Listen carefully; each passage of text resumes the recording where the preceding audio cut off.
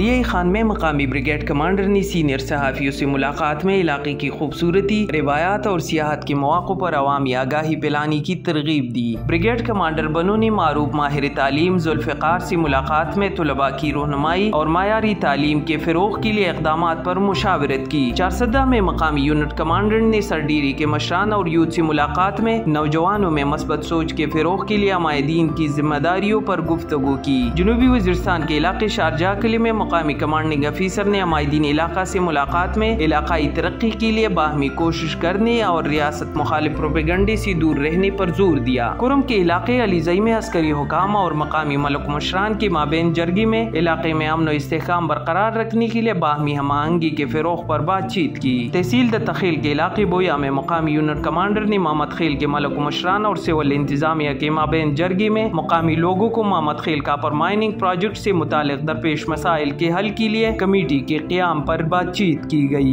عسکری حکام نے گورنمنٹ ہائی اسکول غلجو کا دورہ کیا جہاں انہوں نے طلبہ اور اساتذہ سے ملاقات میں علاقے کی ترقی و خوشحالی میں اساتذہ اور طلباء کے کردار کے بارے بات چیت کی گئی باجوڑ کے علاقے میں سیکیورٹی فورسز کے زیر اہتمام کرکٹ لیگ اختتامی مراحل میں داخل ہو گئی ہے اٹھائیس ستمبر کو کرکٹ کا فائنل میچ کھیلا جائے گا علاقے کے بچے بوڑھے اور جوان شائقین نے خوب جوش و جذبے کے ساتھ اپنے کھلاڑیوں کی حوصلہ افزائی کی